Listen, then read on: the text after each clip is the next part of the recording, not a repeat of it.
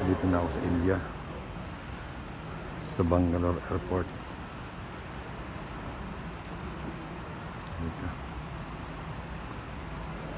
Alas 11.30 ng gabi.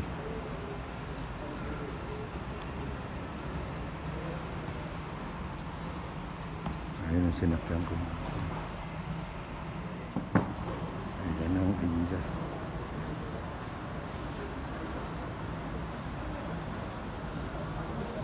Dito na. Welcome to India. Bangalore.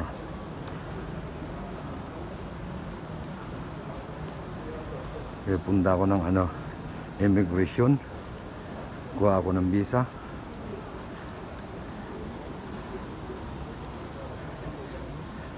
Then, pick up ng bagahe ko, labas. Tapos magsasakay ako ng taxi punta sa hotel. Yan guys ang ah, arrival area. Yan. So ngayon hinihintay ko yung driver ko. Ito yung bagahe ko. Yan. Yan ang bagahe ko. Tatlo. Ngayon ang tagal ko doon sa pagbili ko ng SIM card. Ang tagal magagawa ng ano ng SIM card sa cellphone ko. Kaya natagalan ako ay naghihintay naghihintay sa akin ang driver. Kaya ngayon hinihintay ko yung driver na kinukuha yung sakyan niya. At magta-travel kami ng 4 hours hanggang sa hotel. Ngayon anong oras na ngayon dito sa ano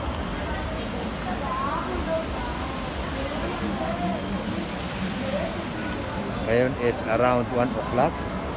At saka sa Philippines is 3 o'clock in 3.30 in the morning. In Philippine time.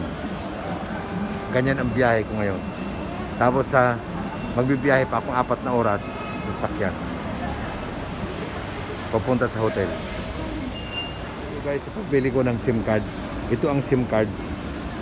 Ayan. Ayan.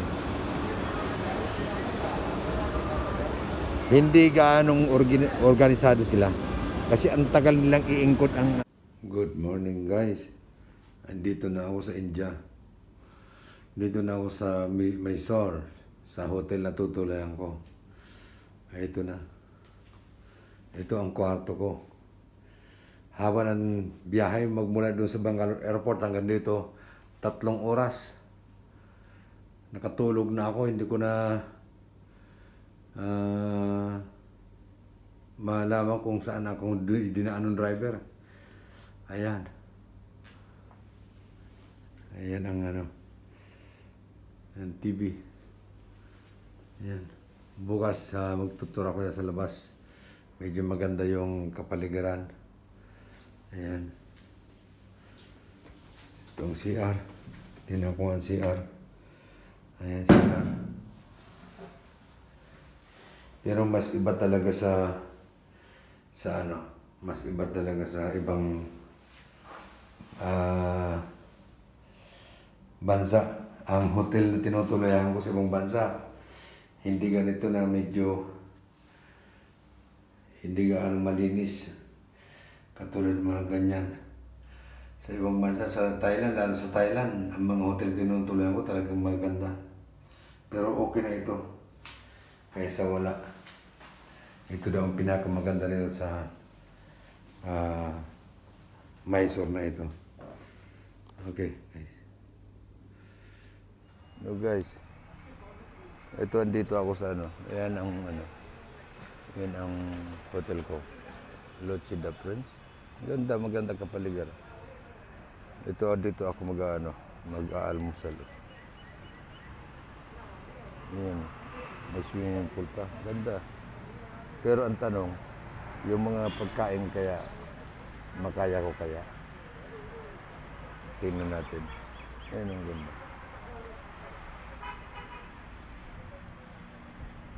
Subukan natin. Itlog. Ayan. Dito kakainin. Dito linuluto. Pag kumuha doon, imimix dyan. Imimix dito. Ito, ito lahat dito. Depende sa gusto nyo. Tapos i-mix dito. Tapos ito na naman siya. Depende naman, may mix naman dyan. Ayan. oh. Sarap yan. Yogurt. Tapos ito mantika nila. Itong lulutuan. Ayan. Sarap. Happy good in India. Here in the Philippines. Wow. For the YouTube. Okay. Yeah. Ayan.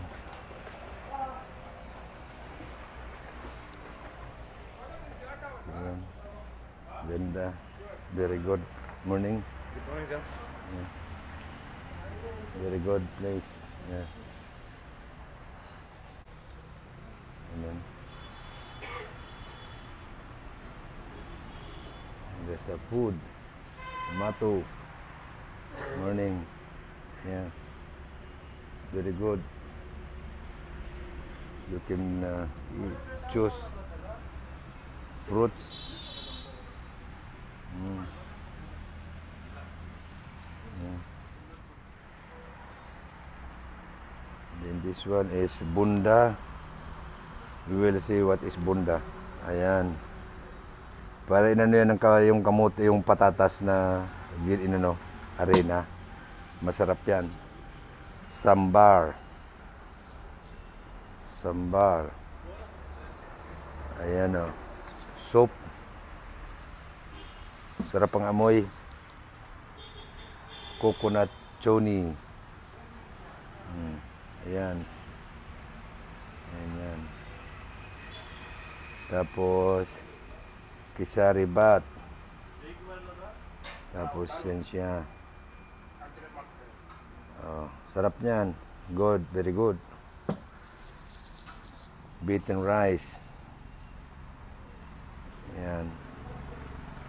Yan ang kanilang ano, ang kanilang rice. Parang fried rice siya. Tapos potato wedge. Ayan. Very good. Potato. Very good taste. Maybe. And the tomato, this is tomato. And the boiled egg. It's normal, the boiled egg.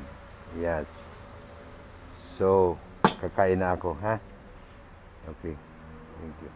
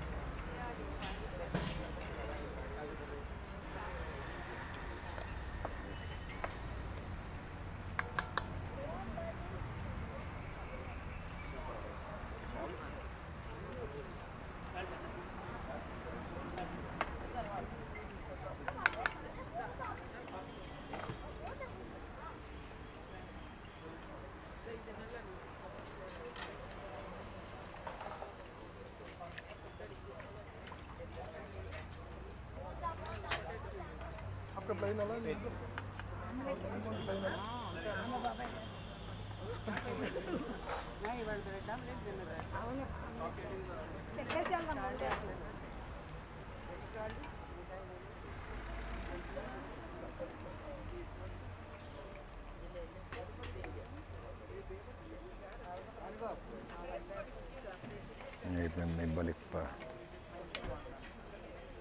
Ayos.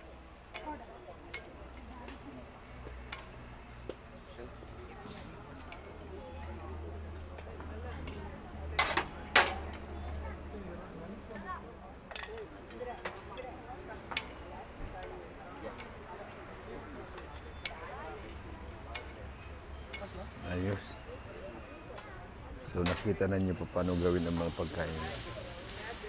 Ayun o, panlinis.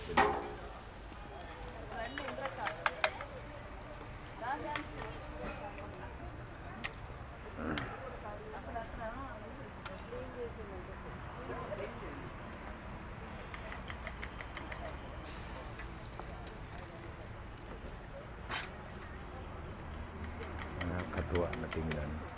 Pero parang nakakadirig kainin. Ito ang area ng hotel. Yan.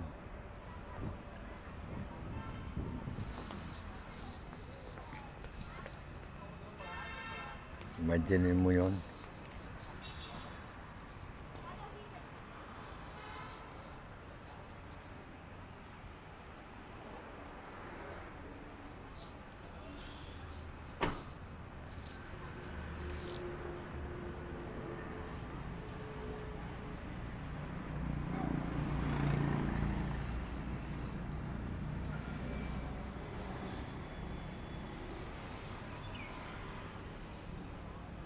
Yan ang hotel. Tinitirahan ko. Mahaba yan. Maganda yan. Maganda sa loob. Maganda sa loob. Ayan o.